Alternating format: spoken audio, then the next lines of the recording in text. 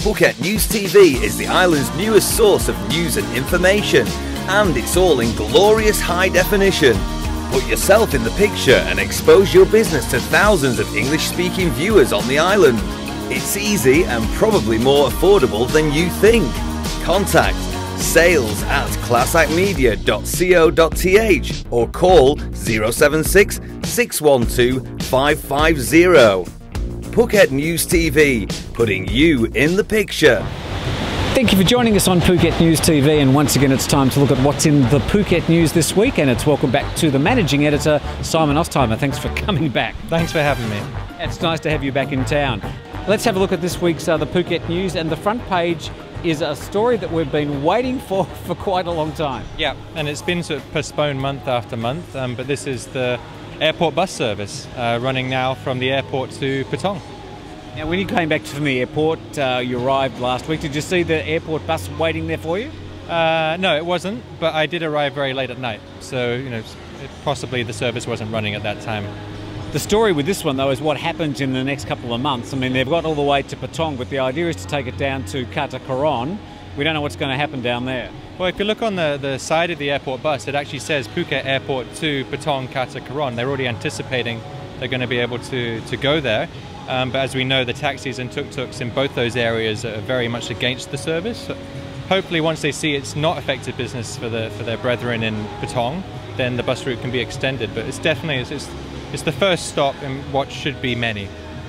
And on the front page of the paper, you've got the picture of the first two passengers who uh, they were a bit bewildered on the day. We actually interviewed them for Phuket News TV, and they were a bit surprised by all the attention they were getting. Yeah, well, I mean, an airport bus service is a very common thing, you know, around the world. So they're kind of uh, probably amused that we're making so much of a fuss about it without realizing the immense backstory. And uh, you got that story on both the front page and also on uh, page three. Yeah. Now, another one of those ongoing stories is the story on page two, and we've got the DSI, the Department of Special Investigations, who have now made their way to Phuket. Yeah, well, Thailand's uh, version of the FBI is that they're commonly referred to. Um, but it's going to be that they're opening up um, centres on the island to tackle uh, organised crime. Um, I mean, they're going to be looking at the tuk-tuks and the taxi uh, mafia as well. Um, and or this is uh, quite important to our readers, is foreign invested businesses.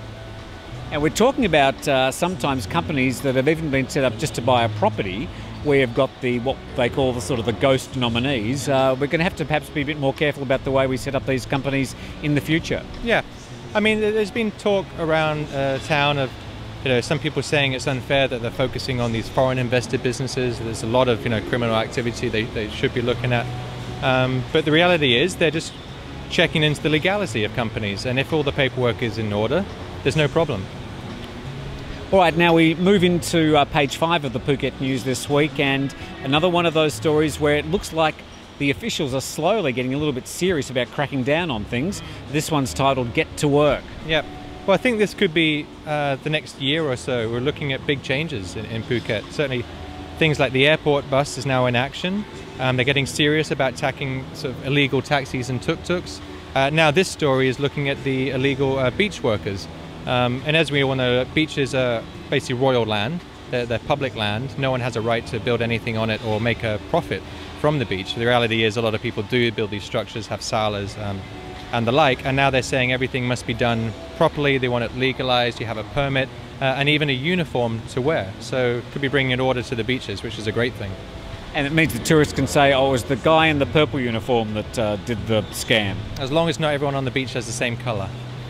Right. Well, that's going to be a bit of a wait and see, and I'm sure there's people watching this and who will be reading the story and going, "Oh, yeah, yeah, yeah, we've heard it all before." Well, I think it's just it's very, very exciting because it's kind of all an indication that Bangkok is finally focusing its attention on the island. I mean, for a long time they've collected the the tax money from the province, and there's big complaint that they've never given anything back, uh, and now they're taking all these issues very seriously, and and it needs this attention from the capital to make things change. Simon, uh, we move into the Life magazine, which of course is an important part of the Phuket newspaper each week. And uh, you're featuring an area that a lot of the time we sort of think negatively about, the, the southern part of Thailand. It's all don't go there, it's dangerous, but uh, not the case. Yeah, well, this is focused on uh, Songkhla, and one of our reporters went down to do kind of a special travel feature about it. But um, yeah, as you, you hit the nail on the head, those three uh, deep south provinces, you know, associated with terrorism. They had the attacks, the bombings, the military, um, and it certainly comes across as being dangerous. But as we show in this story, there's beautiful sort of scenery and, and things to do.